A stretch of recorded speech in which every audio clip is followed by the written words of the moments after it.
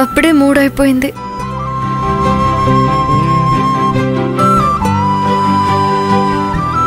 మురళి మురళి.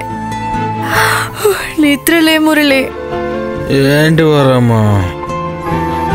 ఈరోజు మనకి tiffins order ఒకటి ఉంది కదా మర్చిపోయావా? లే మురళి నిద్రలే. కాసేపు ఆగి వెళ్దాంలే వరమ్మా. ఇప్పుడు వెళ్ళి చేస్తేనే ఉదయానికి అందించగలం. ఏ మాత్రం ఆలస్యమైనా మనకి ఆర్డర్ ఇచ్చిన వాళ్ళకి చెడ్డ పేరు వస్తుంది. లే మురళి. హెల్ప్ కోసం ఆ గణేష్ గారిని వీరబాబుని పెట్టావు కదా. వాళ్ళు చూసుకుంటారులే వరమ్మా. వాళ్ళు మనకి హెల్ప్ చేయడానికి మాత్రమే. వాళ్ళకి పని మొత్తం అప్పగించడానికి కాదు. జీతం కోసం చేసేవాళ్ళు పని చేసామా లేదా అన్నట్టే ఉంటుంది. కానీ పేరు కోసం చేసేవాళ్ళ పని పర్ఫెక్ట్గా ఉంటుంది. ఇప్పుడిప్పుడే ఎదగడానికి ప్రయత్నిస్తున్న వాళ్ళం. కాస్త కష్టపడాలి మురళి. ఇప్పుడు లేవడం నా వల్ల కాదు వరమ్మా. సరే మురళి. నేను ఇప్పుడు వెళ్తాను. ఉదయం టిఫిన్లు పెట్టే సమయానికి నువ్వు వచ్చేసాయి. సరే వరమ్మా.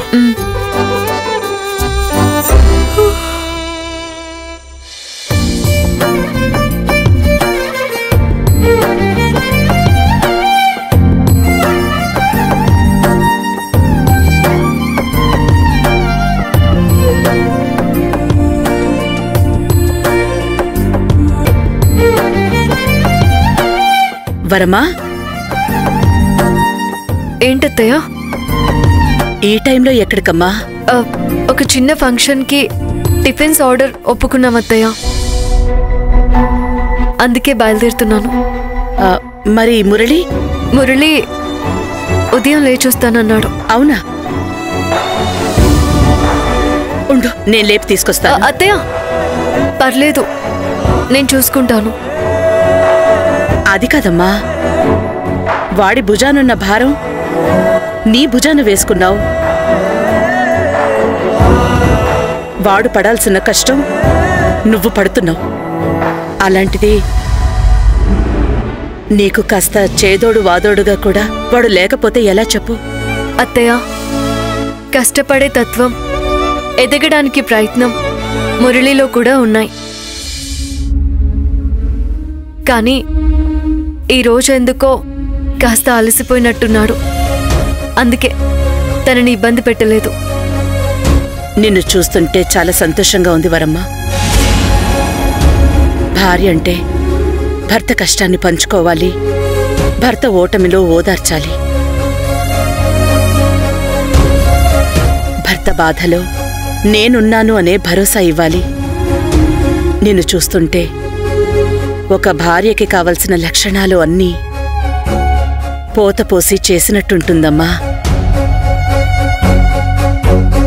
భర్తని ఇంతకన్నా అర్థం చేసుకునే భార్య ఎక్కడుంటుంది? భార్యకి అన్ని లక్షణాలు ఉండాలో లేదో నాకు తెలీదత్తయ్య. కానీ పరిస్థితులు చెప్పే పాఠాల నుంచి చాలా నేర్చుకోవాలని మాత్రం అర్థమవుతుంది. చాలా నేర్చుకుంటున్నాను. నీ గొప్పతనాన్ని నువ్వు ఒప్పుకోవడం లేదు కదా? ఆడదాని గొప్పతనాన్ని భూదేవితో పోలుస్తూ ఉంటారు. కాని నీ సహనం ఓర్పు చూస్తుంటే భూదేవిని మించిన గొప్పతనం నీలో ఉందనిపిస్తుంది వరమ్మ. సరే అత్తయ్య నేను వెళ్ళొస్తాను. జాగ్రత్తమ్మా. అలాగే అత్తయ్య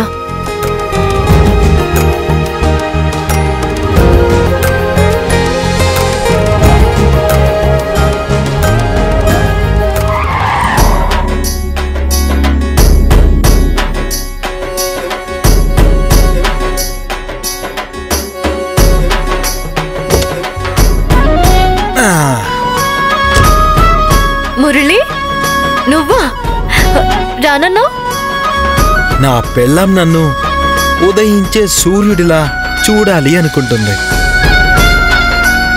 ఎగిరే తారాజువ్వలా మలచాలి అనుకుంటుంది. అలాంటప్పుడు నేను తెల్లారేదాకా మొద్దులా నిద్రపోవడం కరెక్ట్ కాదు వరమ్మా. నా మొగుడు గారు బాగా అలసిపోయినట్టున్నారు. కాసేపు విశ్రాంతి ఇద్దాంలే అనుకున్నాను. అలు పెరగని బాటసారి గారు బాగానే లేచొచ్చారే? నన్ను గెలిపించాలనే ఆరాటం నీలో ఆకాశమంత ఉన్నప్పుడు గెలవాలనే తాపత్రయం నాలో కొంచెమైనా ఉండాలి కదా వరమ్మా నువ్వు నా ముందుండి నడిపించేంత వరకు నేను అలసిపోను ఆగిపోను. నువ్వు నా బంగారు మురళి. పద. పద.